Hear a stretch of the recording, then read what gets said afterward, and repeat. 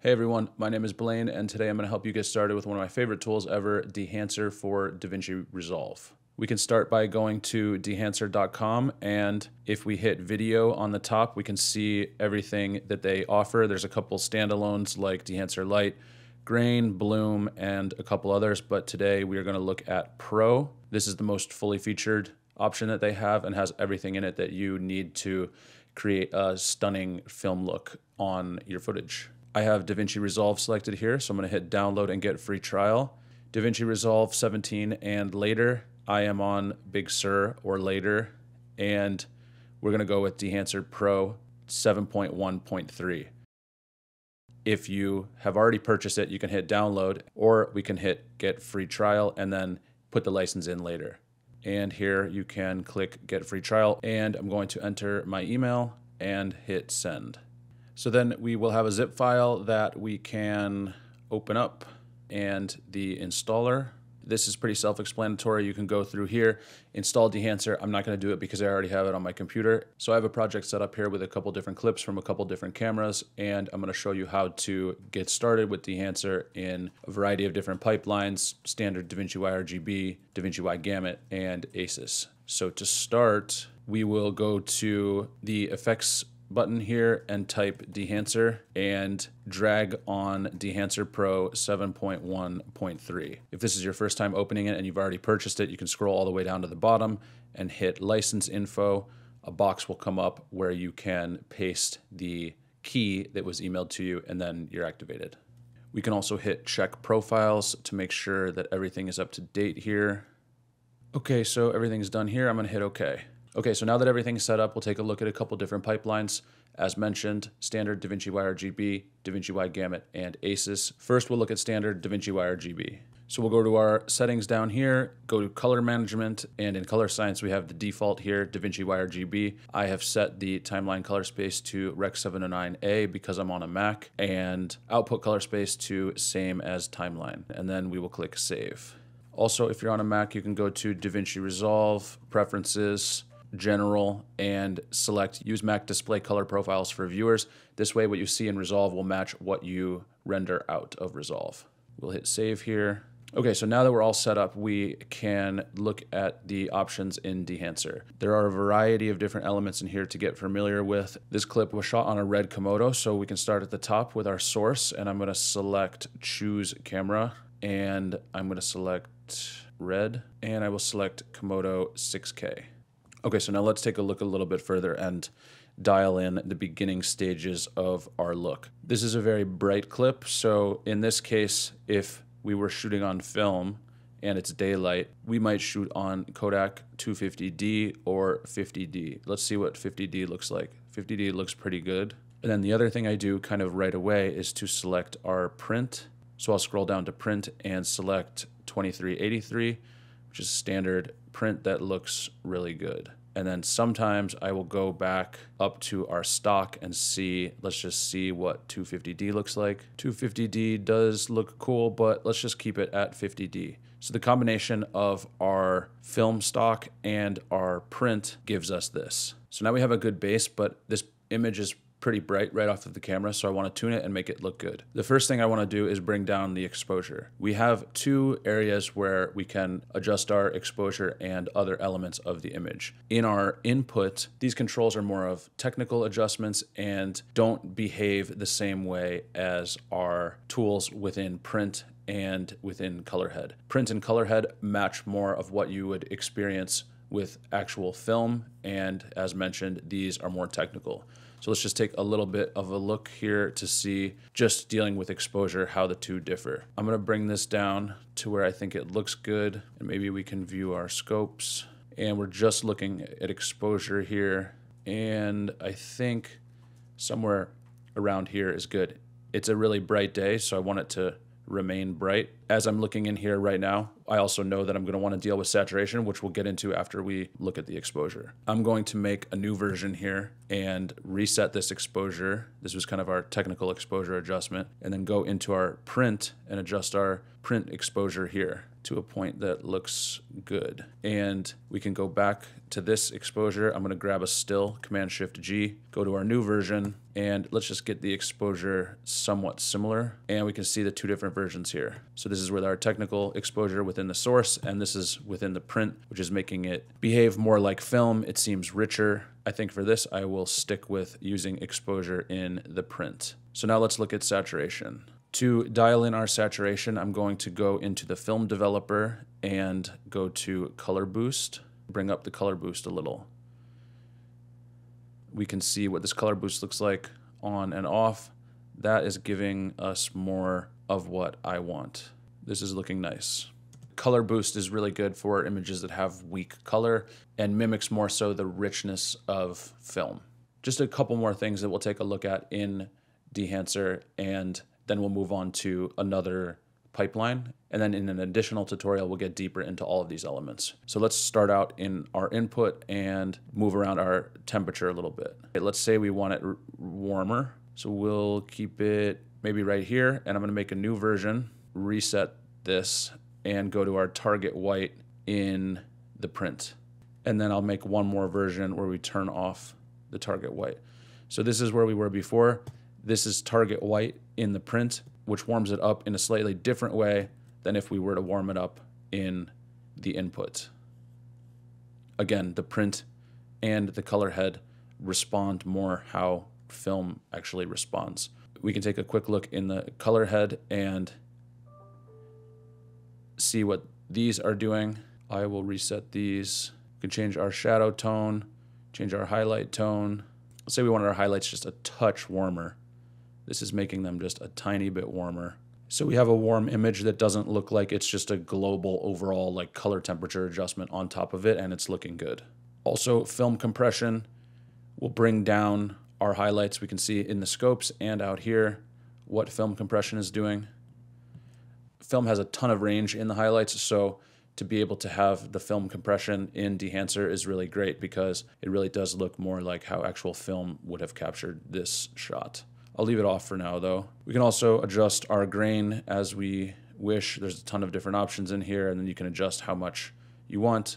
Same thing with halation, super customizable, and bloom. You can see things kind of blooming around here and here. And there's a lot of options here that are inherent to film, like film damage, film breathe, gate weave. Film breathe is when like the colors kind of change a little bit. Gate weave is when the film is actually moving a little bit. The image is actually moving a little bit. And overscan, so we can see the film gate. We can see the perfs, vignette, and so on. So a lot of different options in here.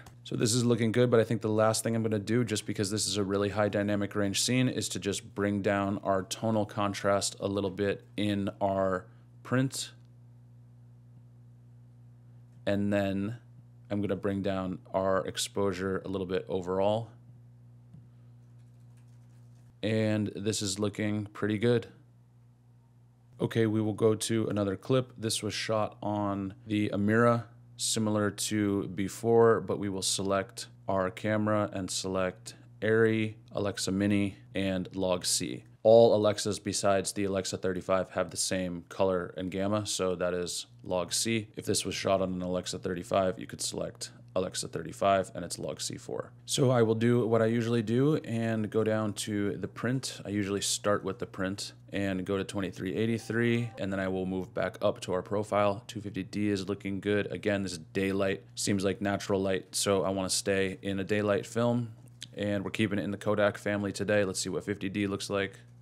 50D looks pretty good. We did 50D on the last one, so let's do 250D here. I will go to the print and bring down our exposure. And because this is a very bright clip right off of the camera, I might go to our technical exposure and bring it down there first to just kind of correct what was a bright clip that was captured. And this is looking good.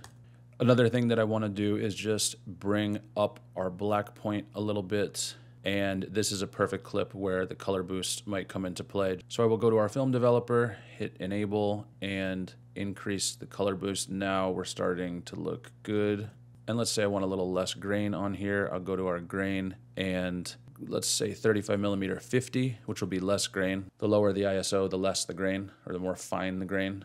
I just want to bring it down even a little more, and we can see without it and with it. And then it's still looking a little bright to me, so I'll go back to our print and just lower our print exposure a little bit, maybe lower our contrast just a tiny bit.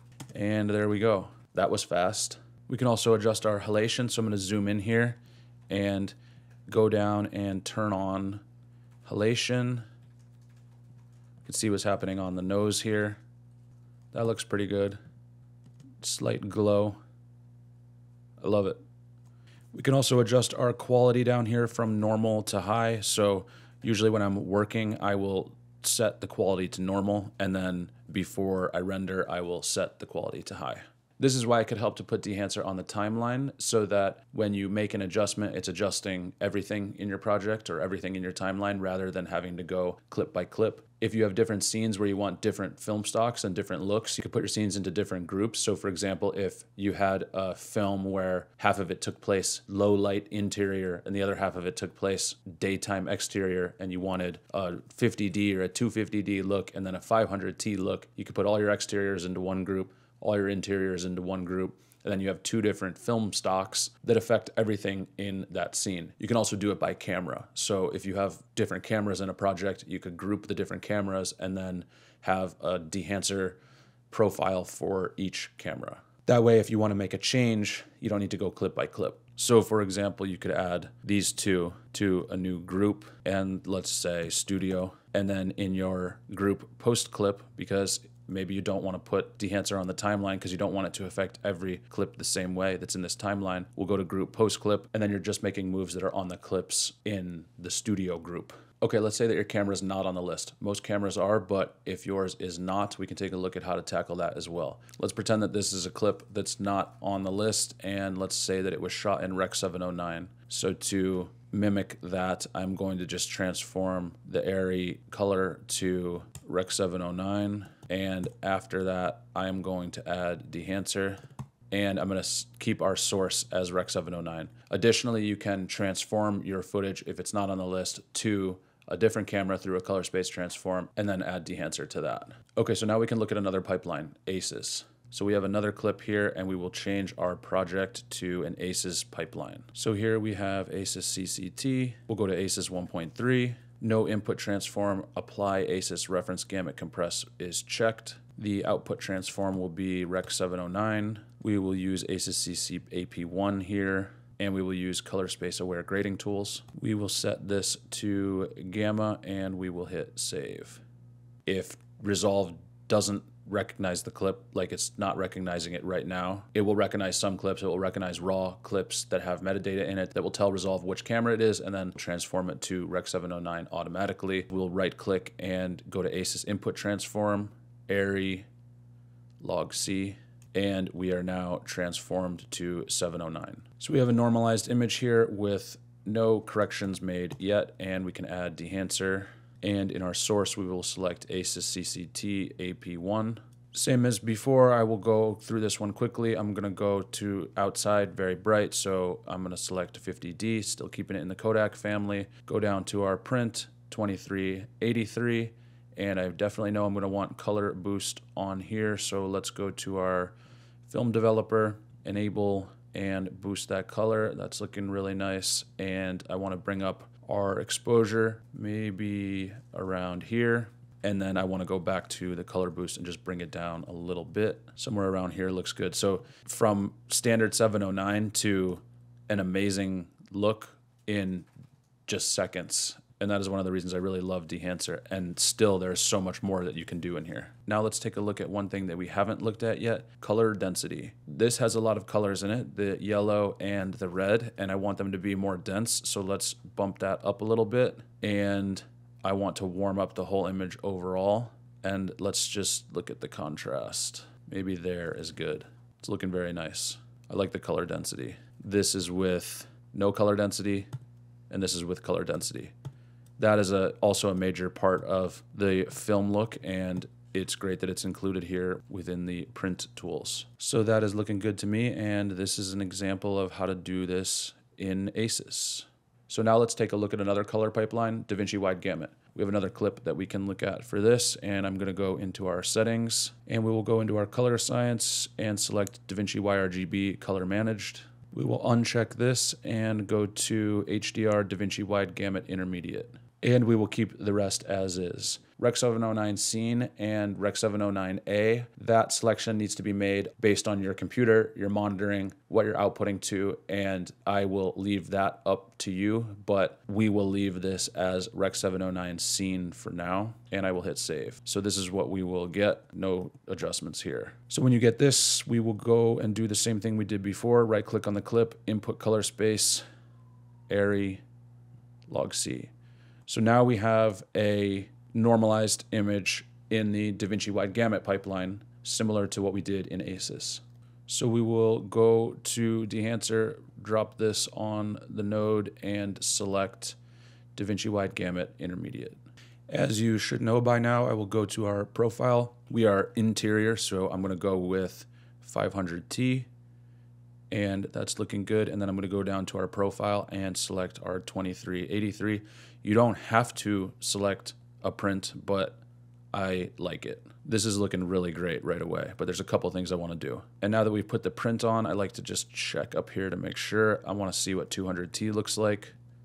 Ooh, this is a tough one. Maybe we'll stick with 200T. I'm gonna look at our waveform. I think this is just a little bit dark, so I'm gonna go into our technical exposure and just bring it up a tiny bit, just a tiny bit, and then I might bring it up more in our print exposure adjust our contrast slightly. I want more contrast, so I'll bring up our exposure. And then I will also bring up our color density and our color boost. It's so amazing how quickly we can go from the standard normalization Rec 709 to this look. So this is an example with the DaVinci Wide Gamut pipeline, and it is looking great.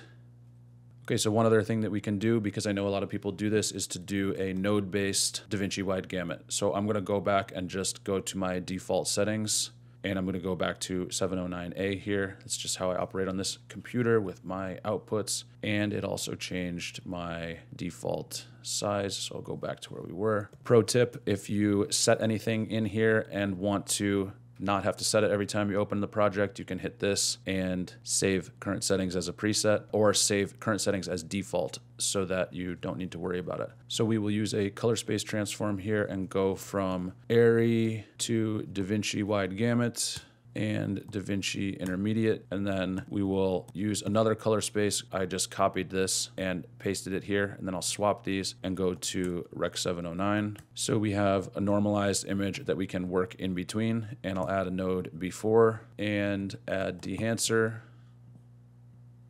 And here I will select DaVinci Wide Gamut Intermediate and quickly get back to where we were. 200T, 2383, a little more contrast, some color density, and some color boost. And we are looking great again in a node-based workflow. So you can work in Dehancer in a variety of different color pipelines and get your desired results, get really good looking images very quickly. They respond and feel like how film captures images, and I love it. If you need any more information, refer to the quick guide and check the next tutorial for an even deeper look at all of the different settings within Dehancer.